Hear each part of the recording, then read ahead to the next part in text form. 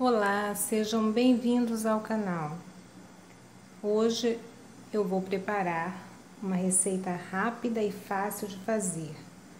Molho de tomate caseiro com tomate cereja.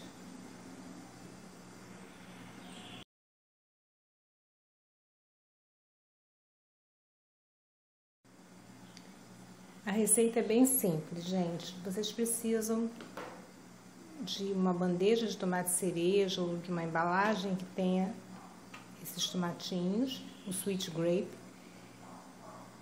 um pouquinho de cebola ralada, não precisa ser muito, tá?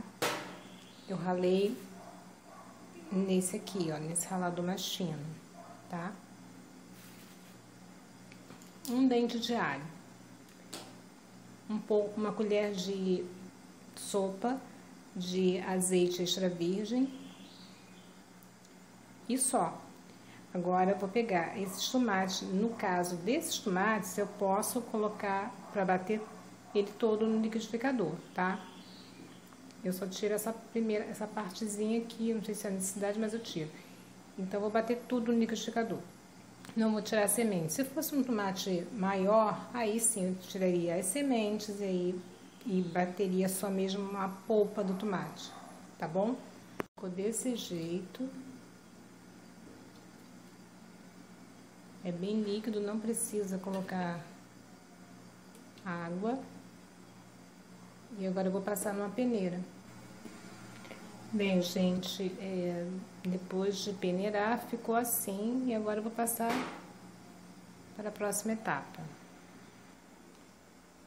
Bem, agora eu vou colocar aquele dente de alho.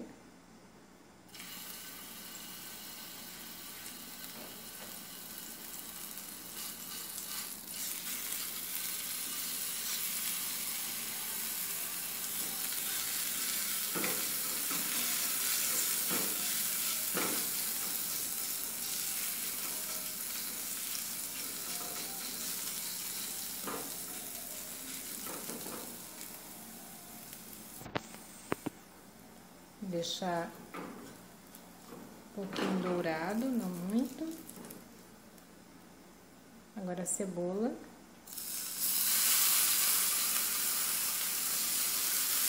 Gente, é, isso é a gosto, tá?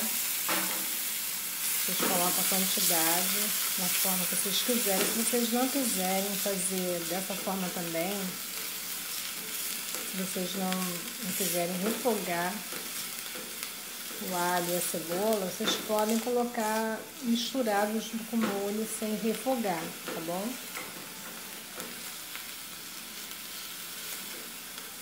Deixar aqui um tempinho.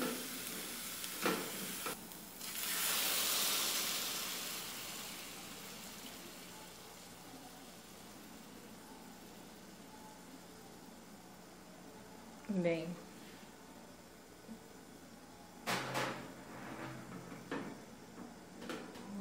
mexer assim. Por conta da cebola e do, do alho, vai chegar um momento que vai ser necessário colocar um pouco de água, tá? Para poder cozinhar bem e não ficar os temperos não ficarem crus.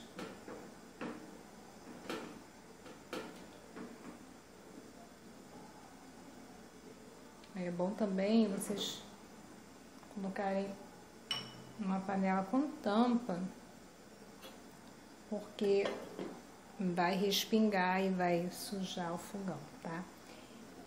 E vamos ver agora como tá. Eu já coloquei água uma vez. Bem, gente, olha só. Já tá bem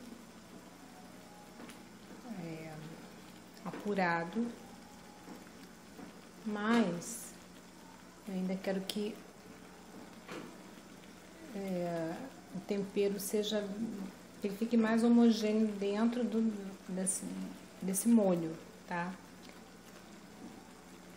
E eu vou colocar mais água e vou deixar mais um tempo.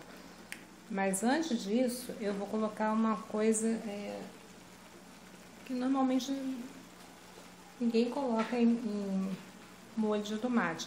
Eu poderia parar aqui, só com alho, cebola, tomate e azeite. E sal. O sal, é, é bom falar do sal, o sal é a gosto, tá? Eu já coloco a gosto. Então, eu vou colocar também o orégano, tá? Não é muito não, é só uma quantidade que dê, um, que dê cheiro de pizza, sabe?